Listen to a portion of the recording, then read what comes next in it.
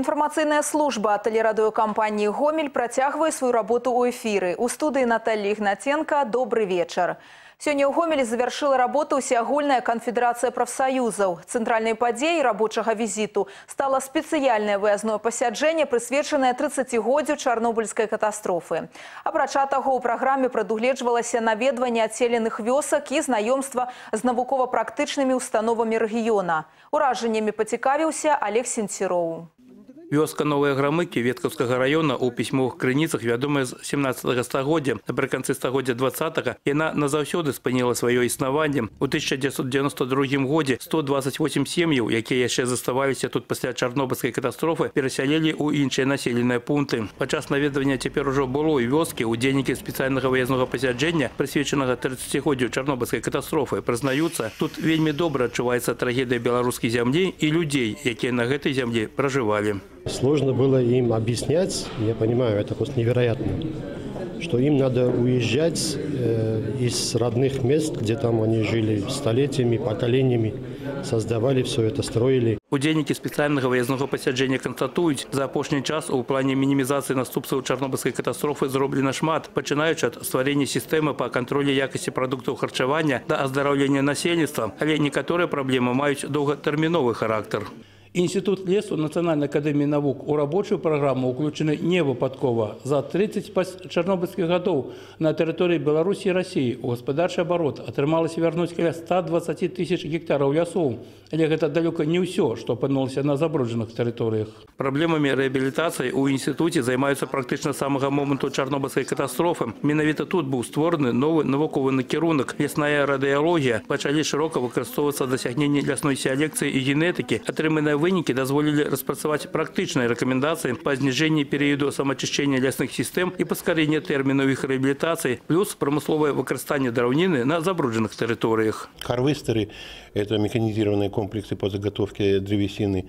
То есть оператор практически находится в кабине, Э, машины, и он может заготавливать эту древесину, а поставить окурочные комплексы, э, и снимая верхние слои древесины, кору мы можем получать и чистую древесину. Сярод удзельнікаў непасрэдна выязнога пасяджэння прадстаўнікі беларускіх і расійскіх прафсаюзаў, выканаўчага камітэта СНД, пастаяннага камітэта саюзнай дзяржавы і міжнародных грамадскіх арганізацый. Размова перш за ўсё аб супрацоўніцтве ў галіне мінімізацыі наступстваў чарнобыльскай катастрофы. За мінулы час поўнасцю выкананы тры саюзныя праграмы. Сёлета завяршаецца чацвёртая і ўжо зараз прынята рашэнне аб распрацоўцы канцэпцыі яшчэ адной сумеснай праграмы. Яе рэалізацыя пачнецца ў 2017. Пры гэтым асабліва падкрэсліваецца размова не ідзе аб замене державных программ. Это худшее их дополнение. Я не хочу, чтобы создалось превратное впечатление, что последствия ликвидировались только в рамках вот союзного государства. Безусловно, национальные бюджеты, национальные программы, местные органы власти уделяли и уделяют этому вопросу огромное внимание.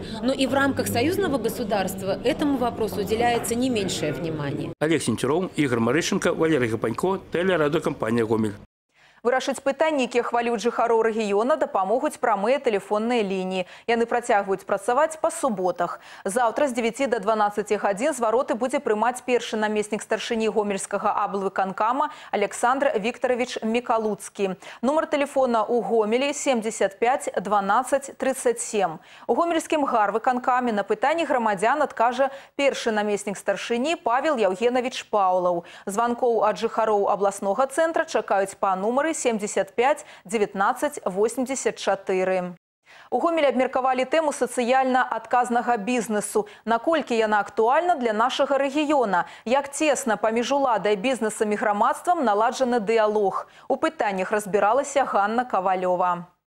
Вось уже 10 гадоў індывідуальны прадпрымальнік Вячаслаў перавознікаў пастаянны госць аддзялення дзённага і кругласутачнага знаходжання дзяцей маладых інвалідаў майская кветка. Тут яго называюць дзедам марозам і не толькі таму, што на новы год ён прымярае на сябе чырвоную шубу, але яшчэ і таму, што сам напаўняе мяшок падарункамі. Калісьці па прапанове ўлады ён прыняў удзел у дабрачыннай акцыі. З тых пор усё і пачалося. Я вот зашел и, ну не знаю, ну внутри как будто бы что-то, может быть, поменялось, может быть, Э, Сам я не знал о существовании таких центров, потому что ну, ну, не сталкиваешься по жизни. Не каждый человек знает, что существуют такие центры, которые помогают не только детям, но и семьям, и родителям. Падобнае аддзяленне адзінае ў рэспубліцы дзяржаўную дапамогу тут атрымліваюць больш як 140 сем'яў. Да іх падтрымцы далучаюцца і іншыя прадпрымальнікі. Дапамагаюць у рамонце, набыцці мэблі, бытавой тэхнікі, трэнажораў і прыстасаванняў для інвалідаў. К счастью, хороших людей у нас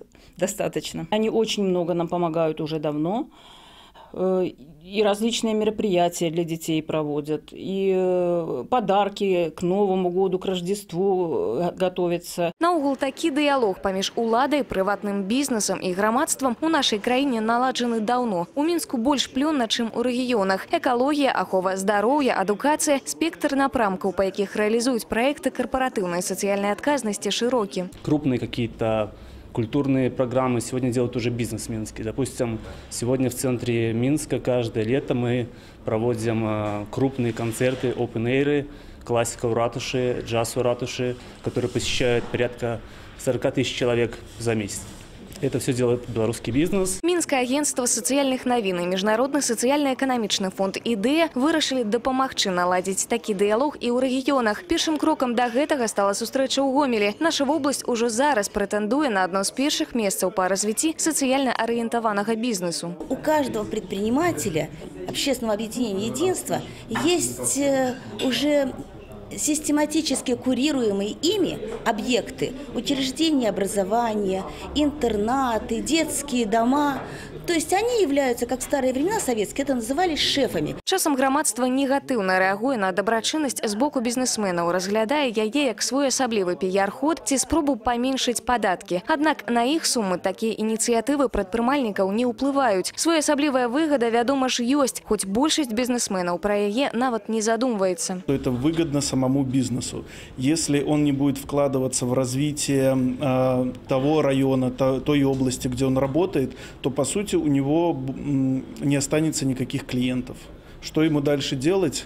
Уходить, закрываться и так далее. Каждый бизнесмен, который э, работает на будущее, который э, строит концепцию своего развития, он понимает, что только долгосрочное вложение инвестиций в свой регион, где он работает, принесет ему в дальнейшем гораздо больше прибыли, на которую он даже сейчас и не рассчитывает. Улады, як правіла, ідуць насустрач бізнесу, які выказвае жаданне прыняць на сябе частку сацыяльнай нагрузкі. У многіх еўрапейскіх краінах гэта даўно стала відавочным правілам. Бізнес не можа паспяхова развівацца ў грамадстве і быць свабодным ад яго. Ганна Кавалёва, Валерый Гапанько, тэлерадыёкампанія «Гомель». Працягваем выпуск. Сёння ў Гомелі прайшоў абласны конкурс чытальнікаў «Захаваем свет разам». Творчае спаборніцтва было заснавана ў 2008 годзе абласным аддзяленнем Саюза пісьменнікаў Беларусі і праводзіцца пры падтрымцы ўправлення адукацыі гомельскага аблвыканкама. Сёлета конкурс прысвечаны 95годдзю з дня нараджэння Андрэя Макаёнка. У першым этапе прыняла ўдзел больш як тысяча школьнікаў. Да трэцяга абласнога дайшлі 70. З іх былі вызначаны 10 пераможцаў у прозе і паэзіі. Перавагу далі чытальнікам, якія змаглі выказаць мастацкую задумку аўтара, праявілі артыстычныя здольнасці і валоданне беларускай мовай. Увогуле ў Беларусі праходзіць шмат падобных конкурсаў. Аднак да гэтага часу больш нідзе няма прыкладаў іх правядзення ў маштабах вобласці і з прамым удзелам аддзяленняў Саюза пісьменнікаў Беларусі. Унікальнасць гомельскага конкурсу якраз у тым, што школьнікі могуць атрымаць ацэнку аўтарытэтных пісьменнікаў, у тым ліку і тых, чые творы яны агучылі са сцэны. тое што на нашай зямлі адбываецца адбудзецца дзень беларускае пісьменства у нас атрымліваецца чацвёрты этап сённяшнія пераможцы лаўрэаты э, у кожнай з намінацый паедуць у рагачоў дзе паміж імі пройдзе гран-пры на галоўнай пісьменніцкай сцэне Вось, і з рук вядучых літаратараў беларусі яны атрымаюць узнагароды і э, гран-пры Радыёстанцыя Гомель ФМ гэтым летам загучыць па-новаму і парадуе слухачоў цікавымі творчымі праектамі. Зараз над імі працуе дружная і згуртаваная каманда. Пра тое, як праходзяць працоўныя будні вядучых і карэспандэнтаў радыёстанцыі Гомель ФМ, рэпартаж Веранікі Варашылінай. Встречаем утро пятницы вместе с хорошими новостями. Радиостанция Гомель ФМ вошла в топ-10 радиостанций Беларуси. Да, это приятно, а вот другими новостями сегодня поделится редактор службы информации Сергей Негреевич. Сергей, доброе утро. Доброе утро, Кирилл. Я расскажу о том, какие сюрпризы готовят гомельчанам и гостям города Гомельский парк, а также о том, кто завтра будет дежурить на прямых телефонных линиях местных органов власти. Об этом и не только прямо сейчас. Менавіта так з добрым настроем, падборкай свежых навінаў і рытмічных хітоў кожную раніцу пачынаюць працу дыджэі радыёстанцыі Гомель ФМ. Іх задача не толькі ўзбадзёрыць людзей, дазволіць ім канчаткова прачнуцца, галоўнае падарыць зарад пазітыву на ўвесь дзень. На самом деле я вот представитель стопроцентных сов, которые переквалифицировались в жаворонков. Такие люди существуют на самом деле. Если кто-то не верит, что это возможно, это возможно. Это дело привычки. Ну и сейчас я могу сказать с уверенностью, что мне интересно наблюдать за тем, как просыпается город. Я встречаю утро с теми, кто едет на работу. Настроение у меня утром всегда хорошее. Да и днем, и вечером тоже. Поэтому легко э, радовать всех хорошей музыкой и делиться какими-то новостями с людьми. Нараджэнне радыёстанцыі Гомель ФМ адбылося ў кастрычніку 2008 года ў выніку праведзенага рэбрэндынгу радыёстанцыі «Экспрэс». Сёння на хвалях 101,3 можна пачуць лепшыя замежныя расійскія айчынныя кампазіцыі. Вяшчанне радыёстанцыі будуецца з улікам інтарэсаў, густаў і стылю жыцця мэтавай аўдыторыі. Дарэчы, слухачы высока ацэньваюць гэтую работу. Па выніках сацыялагічных даследаванняў Гомель ФМ увайшла ў топ-10 самых папулярных радыёстанцый краіны. Такое прызнанне вынік штодзённай сумленнай плённай працы кожнага асобнага работніка і калектыву ў цэлым. Трэба адзначыць забаўляльны сегмент далёка не адзінае, чым можа пахваліцца Гомель ФМ. Акрамя дыджэяў тут працуе згуртаваная каманда службы інфармацыі. Перш за ўсё ў пору падборцы матэрыялаў робіцца на навіны жыцця рэгіёна. Інфармацыя, якая трапляе ў спецрэпартажах і выпусках навінаў на хвалі Гомель ФМ у 90% тычыцца падзей нашай вобласці. Карэспандэнты інфармацыйнай службы імкнуцца не саступаць у аператыўнасці не толькі газетам, але і інтэрнэту. В своих новостных программах мы стараемся охватить все сферы жизни. У нас есть и спортивное обозрение, у нас есть обзор прессы, есть э, простые выпуски новостей, где мы рассказываем и о криминале, и об экономике, и о политике, и о культуре, о том же спорте.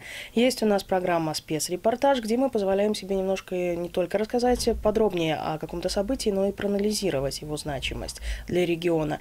Есть программа «Местное время», которую мы целиком посвящаем новостям из каждого района Гомельской области. Інфармацыйна-забаўляльныя эфіры дыджэяў, аператыўныя навіны, аналітыка падзей у свеце, гарачыя хіты. Гомель ФМ сёння вядучая радыёстанцыя рэгіёна. Яна рэалізуе на сваіх хвалях цікавыя, крэатыўныя, галоўныя, запатрабаваныя слухачамі праекты. І аб'ядноўвае вакол сябе людзей актыўных, якія імкнуцца развівацца і ўдасканальвацца ў імпульсе сучаснасці. Нам приятно, что выбор аудитории определил радиостанцию Гомель ФМ в десятку наиболее популярных радиостанций в Республике Беларусь. Но мы не собираемся останавливаться на достигнутом и в текущем эфирном сезоне предложим новые проекты, которые будут интересны как слушателю, так и рекламодателю. Вероника Ворошилина, Максим Славин, телерадиокомпания «Гомель». У музеі гісторыі горада Гомелі размясцілася калекцыя роставых лялек рыцараў. Выстава под назвай «Віцесь. Моцны арэшак сярэднявечча» адкрыта ў рамках праекта «Знаёмы і незнаёмы Гомель». Усе экспанаты ствараліся па рэальных гістарычных прататыпах. Аўтар і ўладальнік калекцыі Мікалай Разрэзаў рыхтаваў сталёвыя ўборы каля трох гадоў. Гэтая калекцыя з'яўляецца мастацкай інтэрпрэтацыяй сярэднявечных еўрапейскіх даспехаў. Кожны з дзесяці маленькіх рыцараў мае сваё мінулае – аб якім расказана на тлумачальных таблічках. Галоўная рызыначка экспазіцыі прэзентацыя даспехаў усходнеславянскага воіна 12-13 стагоддзяў. Над імі працавалі ўдзельнікі гомельскіх рыцарскіх клубаў. У працы былі выкарыстаныя унікальныя дадзеныя археалагічных раскопак у Гомелі. В 1986-87 годах да, довольно давно, в городе Гомеле проходили раскопки, и был э, обнаружена уникальная находка оружейная мастерская 12-13 веков. Такого полного комплекса, отражающего развитие оружейного дела, наверное, до того точно не находили. І апошняе паведамленне. Сёння ўвечары ў шмат якіх раёнах гомельскай вобласці чакаюцца навальніцы, месцамі шквалістае ўзмацненне ветру парывамі да 15-20 метраў за секунду. Супрацоўнікі абласнога ўправлення МНС просяць грамадзян быць асцярожнымі і па магчымасці устрымацца ад паездак на ўласным транспарце. Гэтыя і іншыя навіны вы можаце знайсці на нашым сайце ў інтэрнэце па адрасе трайную даблы кропка цівяргомел кропка бівай. На гэтым выпуск завершаны. Дзякуй за ўвагу і да новых сустрэч у эфіры.